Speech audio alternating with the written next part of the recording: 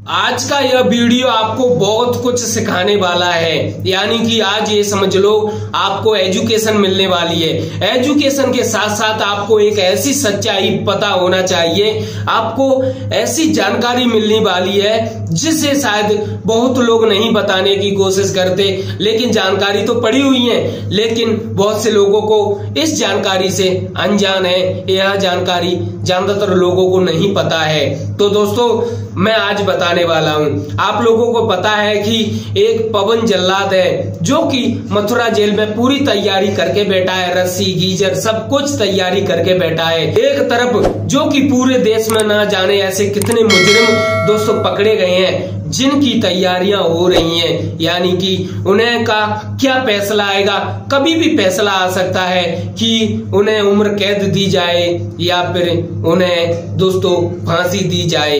इस पर फैसला आना बाकी है। लेकिन पवन जल्लाद है एक तरफ़ पूरी तैयारी करके बैठा है, वहीं दोस्तों, लेकिन यह तैयारी तो की जाती है। पवन जल्लाद जो तैयारियाँ करता है, झाड़ू लगा के, पोछा लगा के एकदम रेडी कर देता है। मज़बूत रस्सी, सब कुछ टू जेड गीजर सब कुछ ब्लैक कपड़ा एकदम रेडी दोस्तों, यह सब कुछ तैयार तो करता है, लेकिन इसके बाद भी ऐसे बहुत कार्य होते हैं जिन्हें करना होता है।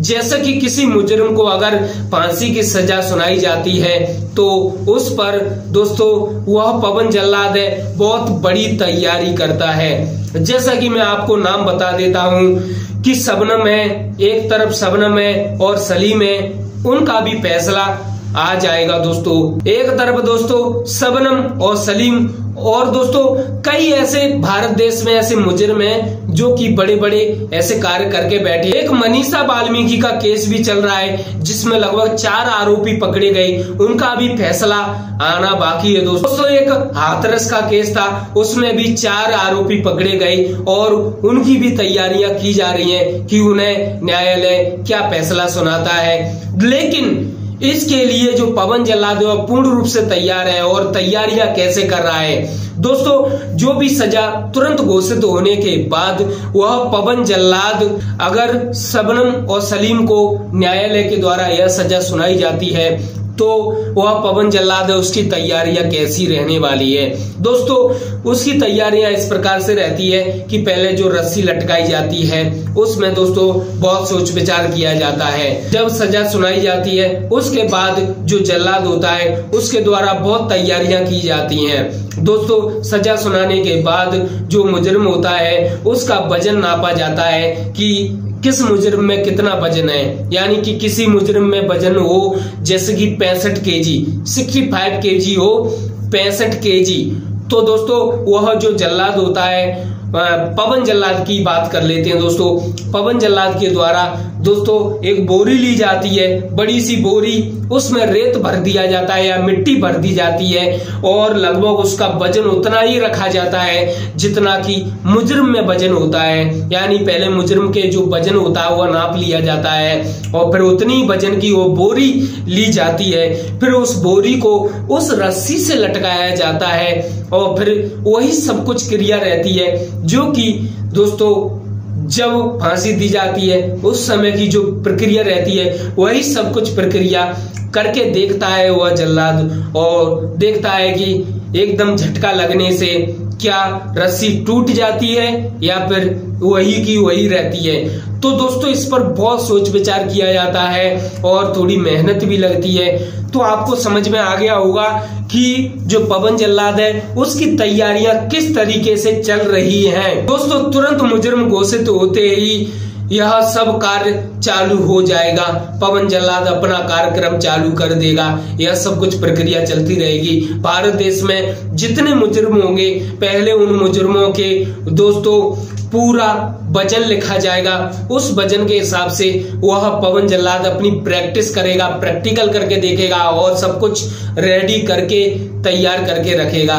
क्योंकि पूरा सोच विचार, पूरा ध्यान दिया जाता है कि कहीं उस समय कोई गलती ना हो जाए, कोई ऐसी एक मिस्टेक ना हो जाए, जिसकी वजह से दोस्तों कोई बड़ी प्रॉब्लम खड़ी हो जाए। इसीलिए उस समय बहुत बड़ी बात का ध्यान दिया जाता है और पवन जल्लाद के द्वारा बहुत बड़ी तैयारियाँ की जाती हैं। जिस रस्सी का प्रयोग किया जाता है, वह रस्सी मज़बूत है या कमज़ोर है, उस पर भी ध्यान दिया जाता है।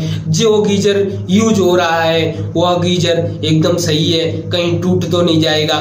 दोस्तों, वही सब कुछ याद किया जाता है जो पहले हो चुका है। फिर उसी हिसाब से पूरा कार्यक्रम चालू हो जाता है। दोस्तों, यह वीडियो एक एजुकेशन की तरह सही है। मैं एकदम सिंपल भाषा, सरल भाषा में समझाने की कोशिश कर रहा हूँ और मुझे आशा है कि मेरी जो जानकारी दी जा रही है, वह आप लोगों की समझ में ज़रूर आ रही होगी। दोस्तों, अगर आप लोगों को थोड़ा सा भी मेरा वीडियो पसंद आ रहा हो तो अगर आप पहली बार आए हो तो चैनल को सब्सक्राइब, बेल आइकन को ज़रूर दाब देना। दोस्तों, अगर मैं थोड़ी सी मेहनत कर रहा हूँ तो आप भी थोड़ी सी मेहनत कर दीजिए, वीडियो को शेयर कर दीजिए। तो दोस्तों, आज के इस वीडियो में मैंने सच में बहुत बड़ी जानकारी दी है। बहुत से लोगों से आप लोगों ने सुना होगा कि पुतले को लटकाया जाता है। यह बात भी सच है। कभी कभी दोस्तों पुतले को भी लटकाया जाता है, लेकिन उसमें वज़न भी उतना ही रखा जाता है। जैसे कि अगर किसी मुजरम में साठ के जी वज़न है तो उस पुतले में भी उतना ही वज़न रखा जाता है। उस वज़न को अगर कम ज़्यादा होता है तो उसमें कुछ ऐसा वज़न लटका दिया जाता है, बाँध दिया जाता है उस पुतले से, ताकि मुजरम के बराबर वह वज़न हो जाए, फिर उसे लटकाया जाता है। और फिर पता चलता है कि रस्सी वह वज़न झेल पाती है या नहीं झेल पाती।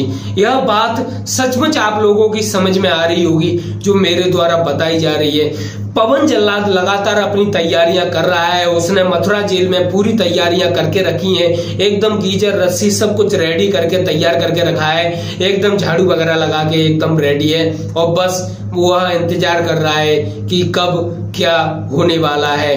दोस्तों, पवन जल्लाद के बारे में दो बातें मैं बोलना चाहता हूँ, जिन्हें जानकर आप हैरान हो जाओगे। दोस्तों, पवन जल्लाद के पिताजी भी जल्लाद थे, उनके दादाजी भी जल्लाद थे और उनके परदादाजी भी जल्लाद थे।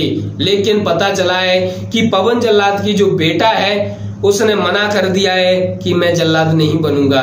दोस्तों, उसके बेटे ने बहुत मेहनत की, सरकारी नौकरी पाने की, लेकिन किसी वजह से सरकारी नौकरी नहीं लग पाई। और उसने मना भी कर दिया कि मैं जल्लाद नहीं बनूँगा। तो दोस्तों, ये मुझे नहीं पता कि बनेगा या नहीं बनेगा, लेकिन थोड़ी सी जानकारी जो मिली जल्लाद के बारे में, क्योंकि यार उनकी भी तो ज़िंदगी है, उनके बारे में भी तो पता होना चाहिए आप लोगों को, इसलिए मैंने बता दिया। और लेकिन आप लोग यही सोच रहे हैं, यार जल्लाद यार यही कार्य करता होगा। उसकी सैलरी दोस्तों, सात हज़ार रुपए है मंथली। मंथली उसे सात हज़ार रुपए मिलते हैं। दोस्तों यार जो फांसी का कार्यक्रम होता है वह पूरी पूरी ज़िंदगी भर तो चलता नहीं भाई, या फिर पूरे साल तो चलता नहीं। इसलिए दोस्तों ये कार्यक्रम कभी कभी चलता है। इसीलिए दोस्तों, जो बीच में जो फ्री टाइम रहता है, उस समय में वह पवन जल्लाद कपड़ों का कार्यक्रम करता है। यानी गली गलियों में कपड़े बेचता है। यानी उसकी जो पारिवारिक हालत है, वह बहुत ही नाजुक है और वह अपनी सैलरी को लेकर बहुत दुखी हो जाता है। लेकिन दोस्तों इस वीडियो में आपको समझ में आ गया होगा कि अगर सबनम और सलीम को अगर वह फांसी की सजा सुनाई जाती है तो उस प्रकार से पवन जल्लाद की क्या क्या तैयारियाँ रहेंगी, यह सब कुछ समझ में आ गया होगा। समझ में आ गया हो तो शेयर ज़रूर कर देना। धन्यवाद।